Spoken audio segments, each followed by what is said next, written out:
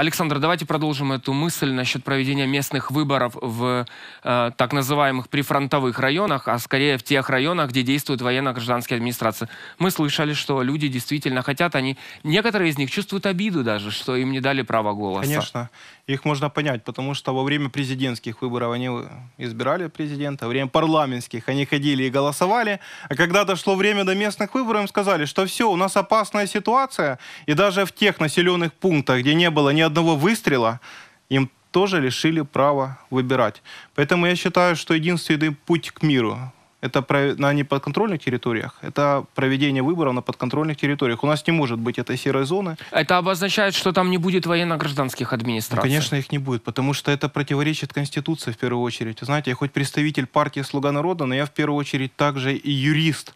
Потому что это противоречит основоположным правам граждан избирать и быть избранными. Потому что на этих территориях должны быть избраны органы местного самоуправления, которые в первую очередь будут коммуникаторами центральными органами власти, украинскими, потому что это представители, это действительно тот инструмент, который даст возможность быть услышанными местному населению.